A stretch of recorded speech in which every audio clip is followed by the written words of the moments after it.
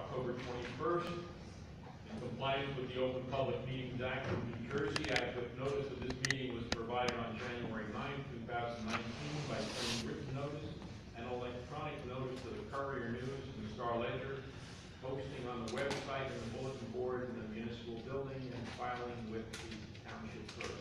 May we have a roll call, please? Councilman Kurdyla? Here. Councilman Pedroso? Councilman Rose? Here. Here. President Beck? Stand with me if you're able for the pledge of allegiance. I pledge allegiance to the flag of the United States of America, and to the republic which stands, one nation, under God, indivisible, with liberty and justice for all. Thank you. We have uh, one set of minutes, October third, the regular session has been uh, circulated for comments. Had an opportunity to see it. Could I have a motion on the minutes? So moved. Second. All those in favor? Aye. Aye. Minutes are adopted. Uh, Township Council reports, could we start with uh, Councilman Kurdyla, please? Okay, uh, there are a few items on my report this evening. Uh, The first one is that I attended the Township Fireman's Inspection two weeks ago in uh, Bradley Gardens. I'm extremely pleased to say that the uh, inspection was very well attended and that uh, the Martinsville and I believe the Country Hills Fire Departments were winners of of awards at the inspection. And it's a true honor to uh, be part of that association. Uh, This past week, there was a meeting of the library, uh, the library committee. Unfortunately, I was not able to attend, but uh, I will reach out to the chair of the committee and uh, have a report after I chat with her. And the, uh, there's also a property uh, that uh, we, mi- I might be hearing about as a potential open space uh, property uh, in Martinsville. I'll be bringing that to the, when I get more information on that, I'll be bringing that forward. Councilman Rose. Yes, I am very excited, because I have a check, fortunately made payable to Bridgewater Township, however, for two hundred and seventy-one thousand, five hundred and ten dollars for the Lane Voorhees house. I always wondered how you got that little slot. So, Uh, the, that- That's a tribute to Councilwoman Rose's personal work on this thing going back years. years, absolutely. So this, this was very exciting to actually get this. It's unusual for the county to give out this kind of money, um, in one year. Um, so we're very excited. This will take care of sealing up the building, the exterior. It'll all be set and ready for some poor soul to come along and do, start the restoration on the inside, so. Um, I, I really can't talk this, so, however, the history committee did just meet, um, and they're very excited about this as well. We're looking forward, they've started the, um, archaeological work with uh, Monmouth University, so that's kind of exciting, that will be, uh, uh, and we'll have more news about that in February, so things are moving along very nicely, thank you. Uh, Council President Moench is in court and will not be able to make the session uh, tonight. Uh, Councilman Pedroso is on business in California. Uh, My report is as follows. Uh, Washington Valley Road construction. The road is open for those of you who want to use it. I have corresponded with County Engineer Matt Loper and have the following work will continue through the rest of autumn on the traffic signal and pavement upgrades at the intersection of Chimney Rock Road.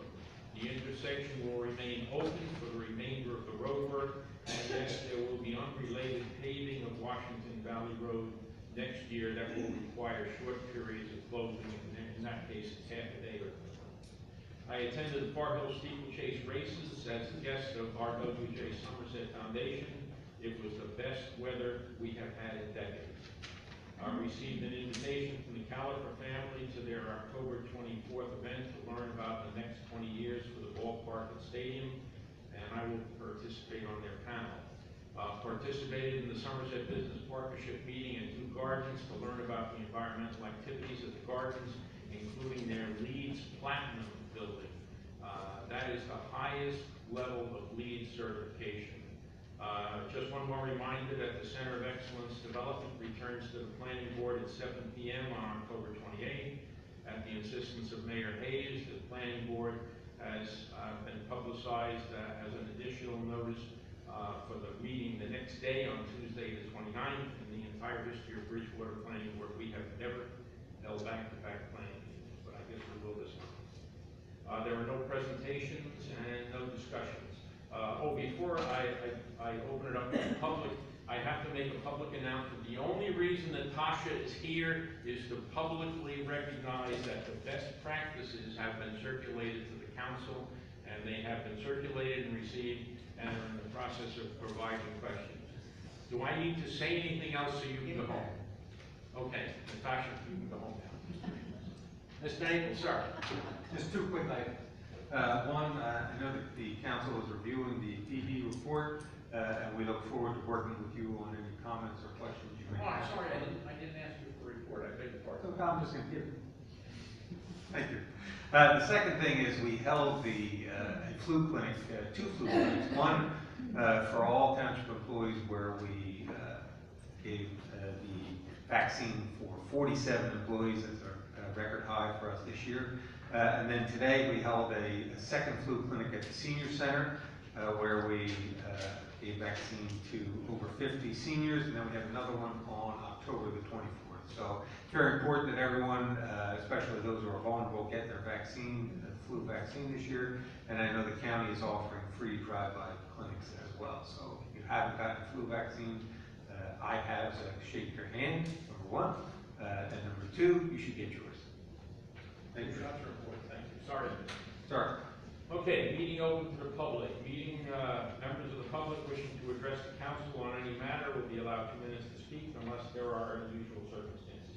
May I have a motion to open to the public, please? So I'll make that motion. Second. Okay, all those in favor? Aye. Okay. Please come forward, give your name and address, and address the council. Good evening, Jeffrey Brookner, 16 Nicole Terrace. I just want to briefly raise three topics and really questions for the council.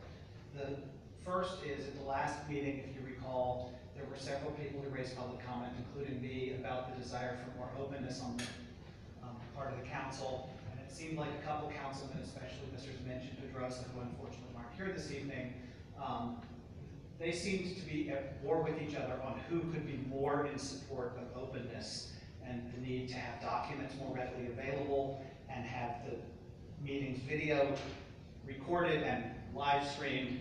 And I note for this meeting at least, there's been no improvement. There are five resolutions on the agenda. None of them are available in the lobby. None of them were on the internet in advance of the meeting. These are things that have become almost routine for every government agency I've come across at the state, county, and local level, except this board. And seems to me, as aggressively favorable Mr. Moench and Mr. Pedroso were at the last meeting, that this would have been fixed. It's not something that requires study and attention. It's just something you drag and drop into the right folder on the internet.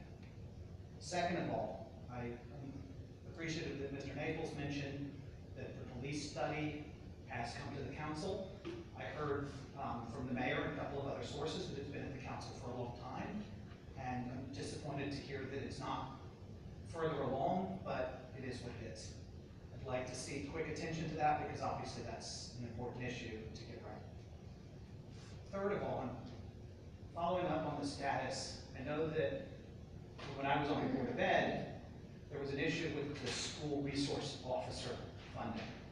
It first came up, I believe it was in the spring, it might have been early summer, which was that the, the Board of Ed was questioning the amount that the council was charging for the one school resource officer that the Board of Ed reimbursed the council for. And there were some negotiations, and obviously, as a member of the board, I was privy to at the time, but couldn't, couldn't share publicly at this time or at that time.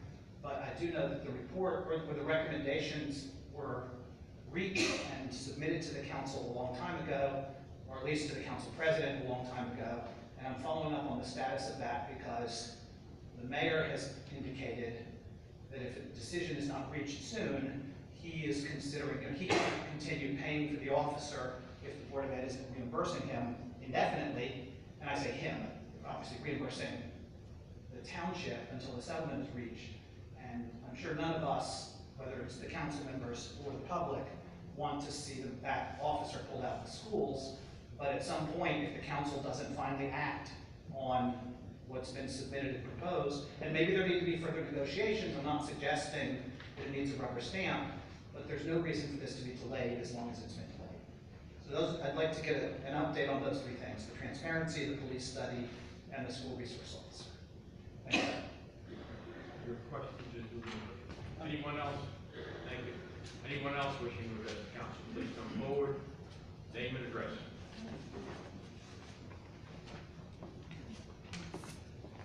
Good evening, council members. Uh, My name is Michael Wong. and- Could you please speak into the, so we can read that? Uh, My name is Michael Wong, um, uh, and this is my wife, Jen. And, uh, We reside at eight forty-five Boston Avenue, Martinsville. Uh, we respectfully request that, um, the council and or the township please uh, enact, uh, regulations on beef, residential beef farming. Uh, we start Uh, I'm sorry, sir. We're, we're struggling to to hear you. Wow, really? Okay, I'm sorry about that. Um, we- Yeah, we're actually, my voice carries. Um, We would actually request that some ordinance or regulations be made in regards to bee farming. We have a neighbor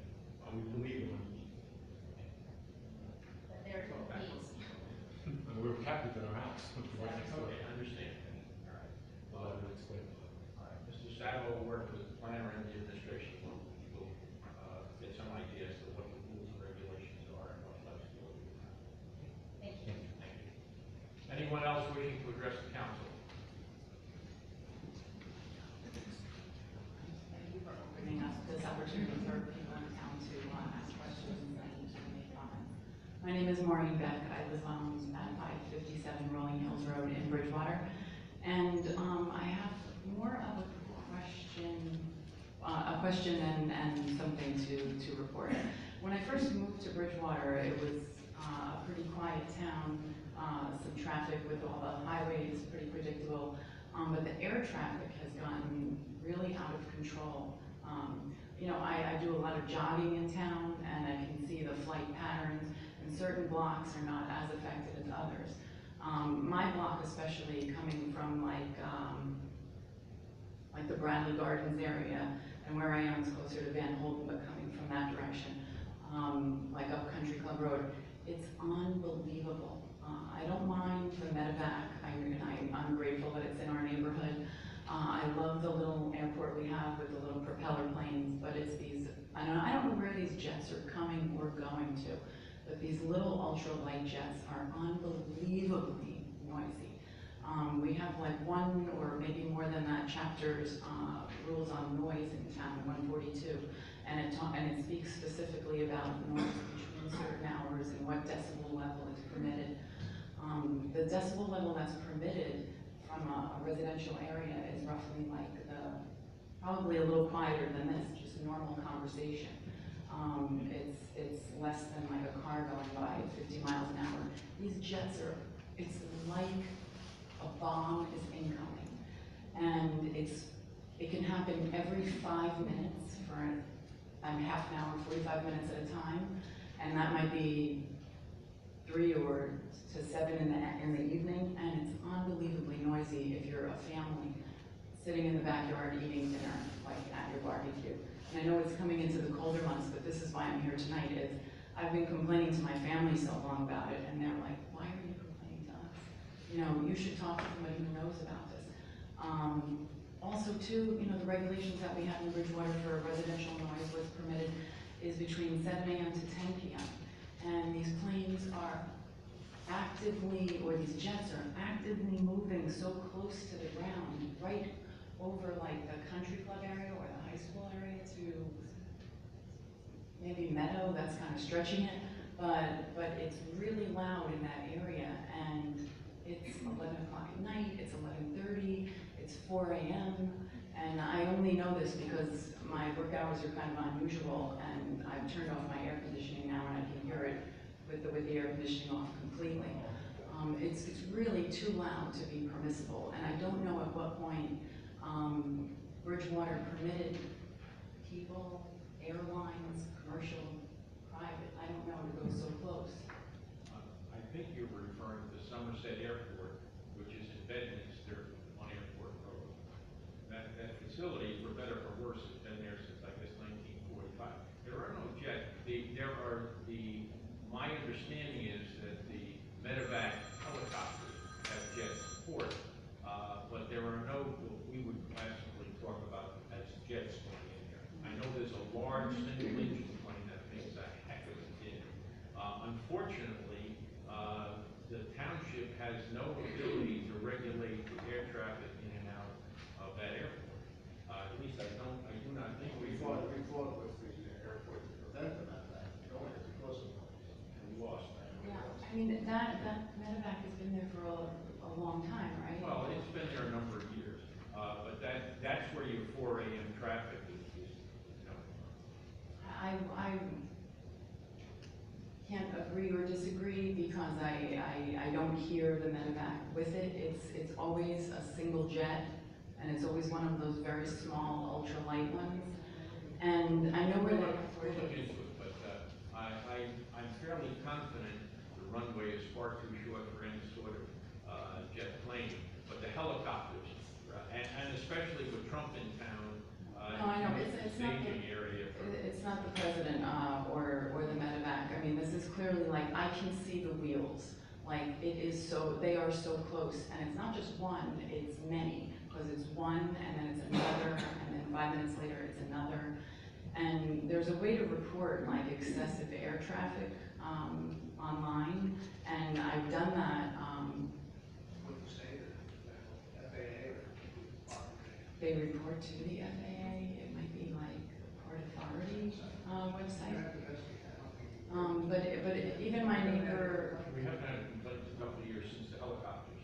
uh, and, and, and honest to God, I know they come out, they do their, their, you know, tour of duty, uh, route just to make sure everything's working. I, I not only know the difference between a helicopter and something else, like I can see them. And, you know, it's not always coming over from like the, side of twenty-two to the west side of twenty-two, whatever, whatever direction that is. I mean, sometimes it's almost diagonal, so I don't think it's really, the, the one thing that I'm noticing is one airport. I, I think it's probably more than one, it's always in like the same direction, it's never that way, it's never from like Van Holten to Bradley Gardens. Um, but it's unbelievably noisy, and I just wonder if, if you're aware, or if you're in charge of changing flight patterns, when did this happen? Um, have no control over flight patterns, as I said, it's either FAA or DOT, depending on the airport. yeah, well, thank you, I appreciate you Well, leave your listening. telephone number with the clerk if you will, so. Okay, and, and again, thank you for, for hearing my, thoughts. Anyone else wishing to address the council? Uh, oh, we have some. Okay, come on, Mrs. Franco. You still have to give your name and address. Oh, you are, Hi, Kathy Franco, seven six six Remack Road. Um, first, I'd like to thank the council for posting the agenda. Um, on October 17th, which was well in advance of this meeting, and for not making any changes to it. Secondly, I'd like to thank the council for making me a more educated voter and citizen in the past nine months, um, because I have really become much more involved in what's taking place in our township. Um, As far as police staffing, um, I hope that we continue to look at what the needs are, because it originally came up in October of 2018, so it's been a year since it originally was brought to this council's attention. I think it was October 15th, 2018, and yet we haven't done any, we have not moved forward with that. Uh, I noticed that both last agenda and this agenda, we have revenue items which are being voted on um, as far as adding items to the agenda uh, for revenue. And I don't know where those expenses relate to those, or if those expenses are going to be things that are already in the current budget, or if they're going to be things that later get voted on by this council. Um, I really don't understand how that all meshes, and I don't know if the council can answer that tonight, or if it's something that they need to look at in the future. My third, or, and I think my final issue, well, actually, I have one thing. Um, Mr. Norgalis, you said that the Center of Excellence is going to turn on the 28th and 29th, and you said that Mayor Hayes asked for that. Actually, I was at that planning board meeting, and I believe it was Scarlett Doyle, the planning board, um, or the, the township planner, who, the 28th was the next available meeting, and she did identify the 29th as also being available. Either the twenty-eighth or the 29th could have been used. Right. And it was Mayor Hayes said he wanted have the 29th added as an additional. Uh, Okay, I, I did record that, so I did not hear Mayor Hayes state that. Um, I did hear that, um, Scarlett Doyle did identify both of those dates as being available. Either of those days. Okay, um, but, you know, it has been advertised, um, throughout the township as far as those dates are both available. So I'm hoping that they will continue to be available for township residents to be available to make their comments known as well as for individuals to provide testimony on those days. My final question, and it has to do with the Center of Excellence, and I'm very sorry that neither Councilman Pedroso nor Councilman Moench here, because my, my question is kind of, if the Center of Excellence had not gone through redevelopment, there are 61 acres that are undeveloped at this point. So if I look at the FAR, according to the township ordinances, which allows for 0.4 a, you know, per acre, um, floor area ratio to be developed. So if you take 61 acres, that's 2,657,160 square feet. If you then take 0.6, 0.4 FAR, that's 1,062,864 square feet of office building that could be developed.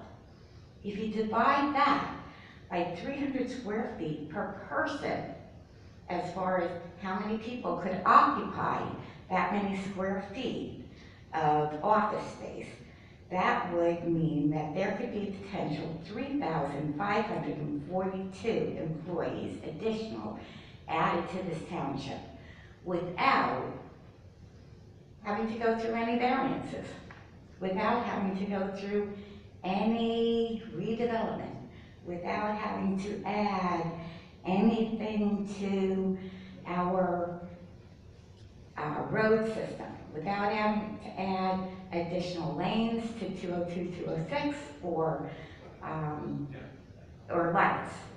That's my understanding. So I've looked this up in the ordinance, and perhaps I'm misunderstanding, and perhaps this is considered testimony and not questions. Um, But, um, Those, those are all legitimate comments. By the way, the one in three 300 you're referring to is one parking spot for every 300 square foot of space.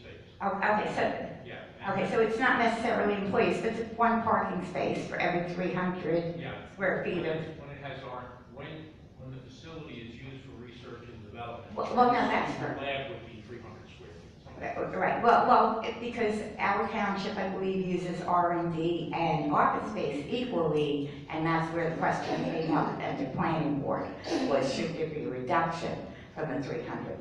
Um, so, my other question is, uh, or my other comment is, I, These are really questions for the planning board.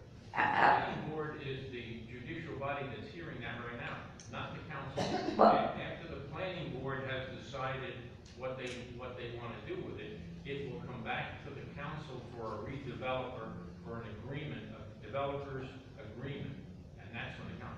But at this point, all those questions are, are good questions, but they really need to be raised at the planning board. and, and they will be there. I'm sure they will. as well as they will come back to you before you hear it again. Um, My other question is, or my other statement is that at one of the town council meetings, I remember Mr. Moench saying that he had not heard anybody come out again or in favor of the Center of Excellence at a town council meeting.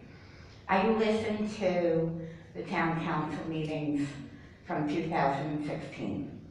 There were Six people came out and spoke on behalf of Yes, there were individuals who came out in favor of the Center of Excellence. And let me say this, I am also an individual who is in favor of this town council considering it as long as it does not have a negative impact upon the overall development of this city. Um, as a resident of Bridgewater and a resident of Martinsville, one of the things I loved about Martinsville was we had what I consider to be a little downtown. It is the only downtown in Bridgewater Township, but yet it has never been allowed to be a downtown. Bridgewater does not have a downtown. It does not have an area that we can walk around. It does not have an area that offers retail, dining, all in a place that you can park your car and walk around. Instead, we go to Somerville. We hang out at Furbs. We go to their street fairs. We go to Basking Ridge and Bernardsville. You really need to bring this to the planning board. I, I understand that, Mr. Norgalis, but I believe that because redevelopment starts at the town council, it's assigned to the planning board, and then comes back to town council, I believe it's important to share it with the town council as well. I appreciate your time, I appreciate you listening to me, thank you very much. Thank you. Anyone else?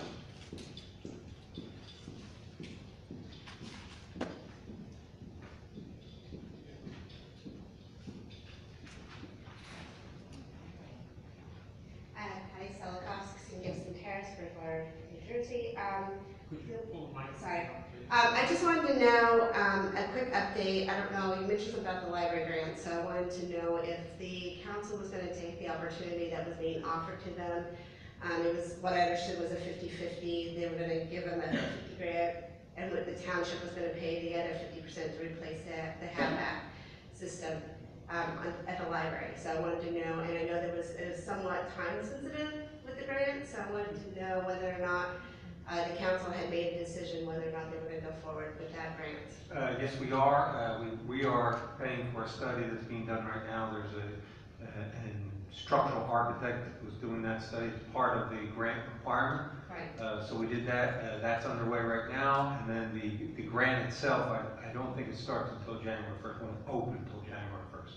And when is the We're getting council, all our does documents. the council vote to go forward? with- Once, once we uh, decide whether, we've, we've decided to move forward, uh, but then we have to see what the terms are when they open the grant. And what about uh, Mr. Moench's uh, question that he had about the bonding? He had a question about whether or not they had to bond it or if they could. We won't know that until they open the grant up for. Okay, all right, thank you. Wrong. Anyone else wishing to address the council? Seeing no motion from the public, motion to close public input. I'll make that motion. All those in favor? Aye. All right, we are opposed to public. Uh, There are no uh, public hearing and final ordinances, no introduction of new ordinances. Moving to resolution twelve A, providing for the insertion of a special item of revenue in two thousand nineteen uh, budget pursuant to NJSA forty-eight colon four dash uh, eighty-seven, chapter one fifty-nine, PL nineteen forty-eight, radon two thousand dollars. Uh, This grant, by the way, comes from the Department of Environmental Protection. Uh, I believe Mr. Naples last year was used to obtain, why don't I let you? Yes, thank you. Uh, We use the money uh, we get from this grant to buy the radon testing kits. Uh, We offer that to the residents free, using this money, so they come get the kit, get the kit, uh, test their own basements, come back, give us, we get the samples and give them the reading. Radar, by- radon is a uh, carcinogen as such, and it is good for people to be aware if they have any. Uh, Any questions from the council? I'll second it. Uh, Roll call, please, on twelve A. Councilman Trujillo? Yes. Councilman Rose? Yes. Vice President Morales? Yes. All right, moving to twelve B, providing for the insertion of a special item of revenue in the two thousand nineteen budget pursuant to NJSA forty-eight colon four eight-seven, chapter one fifty-nine, PL nineteen forty-eight, Heroes and Helpers Grant two thousand dollars, and this is coming courtesy of the Target Corporation. Mr. Naples. Yes, uh, thank you. The, uh, we use this fund to purchase Target gift cards, which are then given by the PBA members to local families in need. They go, they take the families to Target with the gift cards uh, and do it for holiday shopping. So it's, it's paid by, paid by Target, but our PBA helps out all the local families in need. Any questions? I'll second it. Roll call, twelve B. Councilman Trujillo? Yes. Councilman Rose? Yes.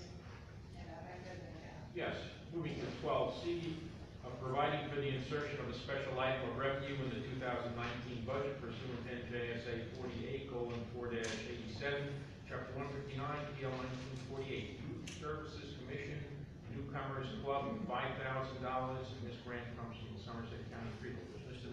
Yes, we use this money uh, from the freeholders through the Recreation Department to set up a newcomers chapter in the high school. It's for new high school students to the uh, area. Uh, They come in, they get a uh, age-appropriate mentor, there's a a teacher or guidance counselor who also helps as well. Uh, I think last year they serviced uh, over 90 students. So very, This has been going on for a number of years. Very successful. Very. And this is a competitive grant, isn't it? This is the Yes. competitive grant? We have to compete for this one. And we win Yes, we do. I'll make the motion, we do it. Second. Roll call, please, twelve C. Councilman Trujillo? Yes. Councilman Rose? Yes. Vice President Morales? Yes. Moving to twelve D, authorize release of the performance guarantee acceptance of the site improvement. Now, that performance guarantee was two hundred and three thousand nine hundred eighty-five dollars and sixty cents. That was the guarantee. Uh, it was for site improvements and acceptance of a maintenance grant of thirty thousand dollars, nine hundred fifty-seven dollars and eighty-four cents. Uh, from Mercal LLC, uh, two ninety and two ninety-four Garretson Road, block four oh eight, lots 2.04 and 2.05. Mr. Naples, any comments from your side? none. Okay, I'll move it. Second. I'll second it. Roll call, twelve D. Councilman Trujillo? Yes. Councilman Rose? Yes. Vice President Morales? Yes. Uh, twelve E, reimbursement of the fire permit fee in the amount of sixty dollars for Spring Run Corporation located at seventeen twenty-two West Circle Drive, Martinsville, New Jersey, 08836, for the annual Halloween campfire on Saturday, October nineteenth, with a rain date of Friday, October eighteenth. Anyway, uh, Mr. Naples, any, uh, this is good cause. No Okay. Do I have a motion on twelve E? So moved. Yes. I'll second. Roll call, twelve E, please. Councilman Trujillo? Yes. Councilman Rose? Yes. Vice President Morales? Yes. Uh, Now, we'll, we'll be hosting a, uh, closed session. Let me leave the monitor. Thank you. Uh, be it resolved by the Bridgewater Town Council that this body will now hold a closed session to discuss litigation and contract negotiations. When and if the matters discussed become public record, this will be made known to the public at that time. The public is excluded from said meeting, and further notice thereof is dispensed uh, with all in accordance with Section 8 and 4A of the Open Public Meetings Act. Uh, could I have a motion to go to closed session? By the way, after the closed session, there will be no additional but, uh, business transacted by this board. Uh, motion? Second? I'll second. Okay, uh, okay, we are now moving to closed session, thank you very much. All in favor? Aye. Thank you. Ladies and gentlemen, thank you for